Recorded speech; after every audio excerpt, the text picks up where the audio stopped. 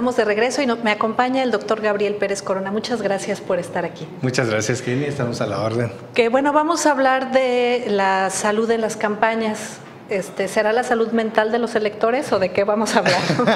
que sería bueno porque, ay, nos dicen cada cosa, ¿verdad? Sí, ¿verdad? Sí, bueno, ahí el licenciado Arnaldo Cuellar nos tiró este que le investigáramos cuál era la salud en las campañas políticas y mira que nos puso a investigar y no te encuentras nada, ¿eh?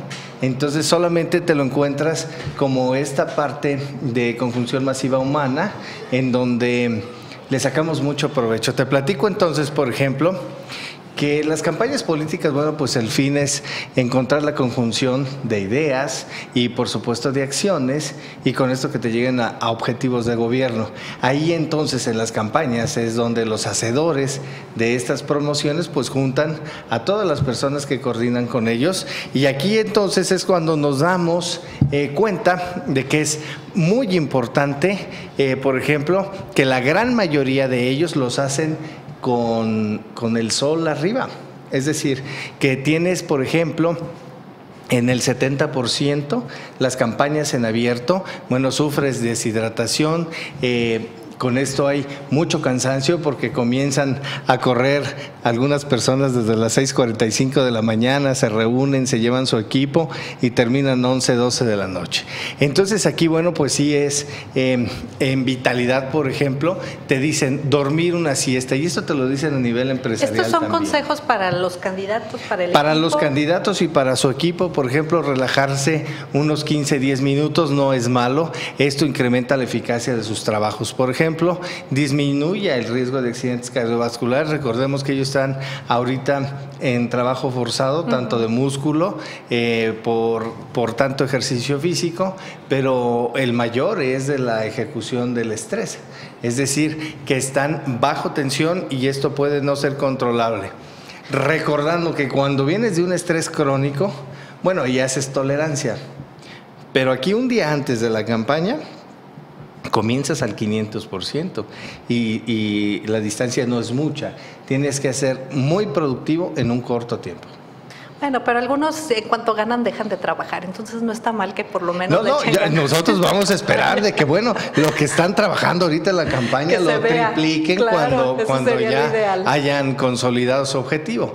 Aquí entonces, por, por ejemplo, te ponemos que, bueno, tienen que beber suficiente agua, tienen que comer eh, cosas discretas en grasa, por supuesto, cosas sanas, crudas, frutas, verduras. Y también, por ejemplo, si hay una ingestión abundante de alimento, y esto es para todos en cualquier momento, no beber eh, líquidos con hielos o, bebidas heladas, porque eso te enlentece también eh, la digestión de la cámara gástrica. Entonces ahí, bueno, se recomienda, por ejemplo, tés al tiempo o no tan calientes para que vaya digiriendo de manera habitual, ya que se van a ir nuevamente a seguirle. A seguirle. Entonces, bueno, esto es parte importante, el uso de bloqueadores solares. Em, también no fumar durante estas campañas. Y aparte que están hable y hable.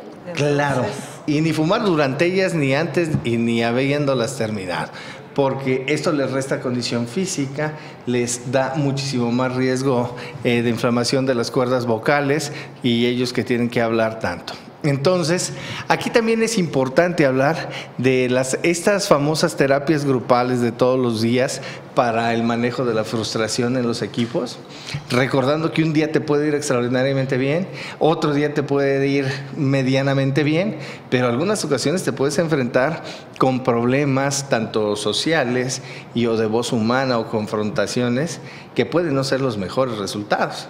Entonces, las redes emocionales aquí te llevan a una frustración directa. Entonces, ahí ellos, bueno, tienen que tener esta parte del manejo de la frustración y porque están condicionados a una máxima de estrés. Entonces, bueno, al realinear los objetivos y por supuesto siempre recordando que lo más importante, lejos de llegar al objetivo, es la seguridad y es la seguridad ciudadana. Entonces, por eso aquí le ponemos el aviso a protección civil en las reuniones masivas y por supuesto a los servicios de emergencia.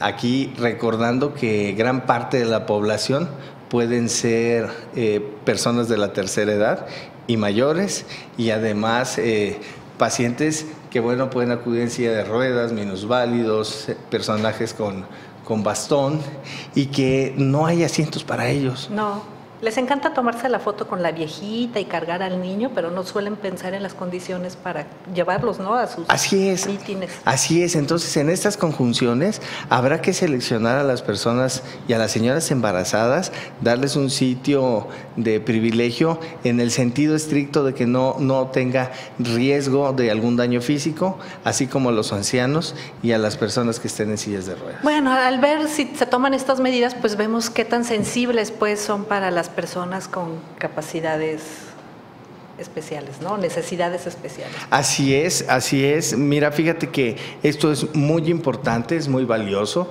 porque realmente una cultura de, de, ahora en el orden de constituir y crear las ciudades y construirlas con una medida ambientalista, pero por supuesto en protección a la persona. Entonces, si el humano es lo que centra a estos objetivos de campaña y de posible gobierno, bueno, hay que ser gentiles desde ahorita. Incluyentes incluyentes por supuesto, y esto disponer de los lugares más seguros para estas personas. Fíjate que ahorita estaba pensando y nunca he visto en un meeting que lleven un este, especialista en lenguaje de señas.